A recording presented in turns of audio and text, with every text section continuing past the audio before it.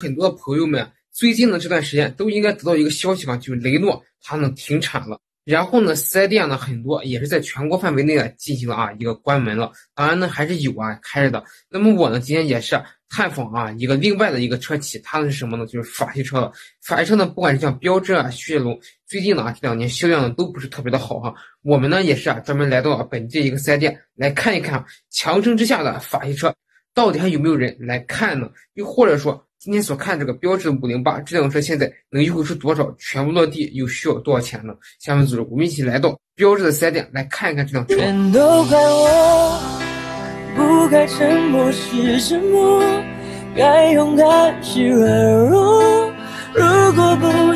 各位老铁们，看到了吗？我们呢已经啊来到了标志的 4S 店，可是呢，我们从 4S 店当中来看到呢，它呢摆的有雪铁龙啊，也有奔驰，甚至说呢，在一来到 4S 店大厅时呢，前面还有东风的车型一直在售着。很多朋友们呢就会说了，哎，他这个标致的四 S 店为何啊这么多其他车型呢？我呢也问了啊销售了，销售他也说说现在呢的确是不是特别的好干啊，也想着啊全方位的发展，再加上呢近些年来标致呢雪铁龙又停产了很多的车型，于是呢两家就合到一块儿，然后呢有些地方呢空闲出来就摆上了一些其他的车型。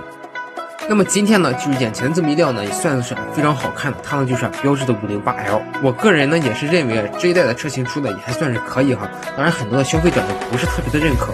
而像标致、雪铁龙这种法系车呢，它其实啊相对来说呢，做工用料呢都是特别的足的哈。很多那些配置呢也是给到了最高。五零八这款车呢，之前我也有朋友买过，只不过呢那是第一代的产品啊，个人感觉呢底盘的质感还是非常的不错的啊，这是法系车一贯的一个传承。但是啊后导一个做工用料所带来的一个什么问题呢？就是它配件呢真的特别的贵哈。